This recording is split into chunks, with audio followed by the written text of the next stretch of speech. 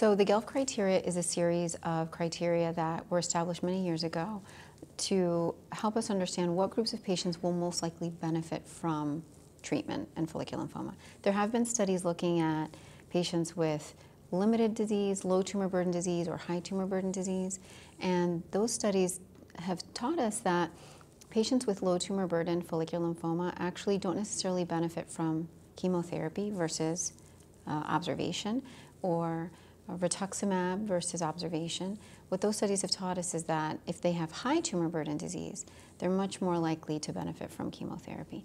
And so the GELF criteria tells us that if a patient has a large burden of disease, seven centimeters, or if they have three lymph nodes that are greater than three centimeters, or if they have cytopenias or several other factors, then that patient is more likely to suffer symptoms from follicular lymphoma. They're more likely to have morbidity from follicular lymphoma, and they're most likely to benefit from treating their follicular lymphoma. So in that capacity, that is not really a prognostic tool, but it's rather kind of a, a parameter or a tool that we use to say, do they meet these certain criteria, and are they in the group of patients that will most likely benefit from treatment? So PET is actually considered a standard of care in terms of staging. The Lugano criteria has demonstrated to us that follicular lymphoma is FDG avid, so that means that it does take up that fluor fluoroxy uh, deoxygenated glucose.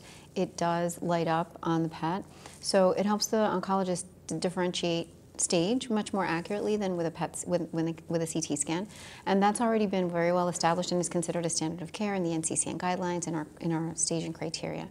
In terms of following patients over time, I think that that is still a little bit less well known because we, we don't do surveillance with PET after a patient's been treated. That's not considered a standard. In fact, a lot of our guidelines from ASH and ASCO suggest that we should do less surveillance for patients in whom there's no clear benefit to surveillance. So I think that for patients with untreated follicular lymphoma, if you're suspecting that something has evolved, if you're suspecting that they have transformation, then the use of a PET may have may help you in terms of guiding your treatment selection or maybe rebiopsying. But in terms of just regular surveillance, getting a PET scan done every 6 to 12 months, there's not a, a lot of utility in that. So if they have low tumor burden disease, then you can offer rituximab as a single agent. You can also observe the patient. I think that that is a very long discussion typically with your consult because a lot goes into that. If a patient has low tumor burden disease, um, yet they are symptomatic, that would be an indication to treat. They could be symptomatic because they have pain, they have anxiety regarding their diagnosis, or they have some other symptom or some other issue regarding the diagnosis. But um, for patients with high tumor burden disease, some of those patients don't get treated because despite having more disease burden, they actually feel great. They don't really desire treatment, they want to delay treatment. So I think that it really depends on the individual.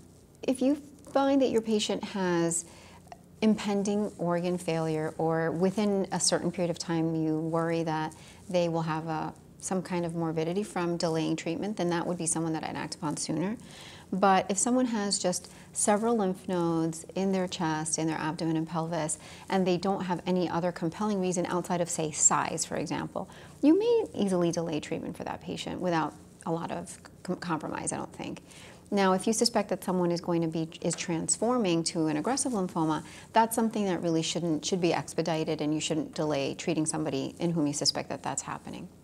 If they have cytopenias because they have bone marrow failure due to the presence of lymphoma in their bone marrow, a very high amount, that would be something that over time, if they may become transfusion dependent, or they might develop anemia from which they're very tired or they have shortness of breath, that's also something that would trigger treatment. So the presence of a pleural effusion, again, would be something that technically would warrant treatment, but you have some patients that have asymptomatic pleural effusions that they don't, they're not aware of. But that, if, and if that's the only, the only site of disease, although that would be less likely, that would be another reason to initiate treatment.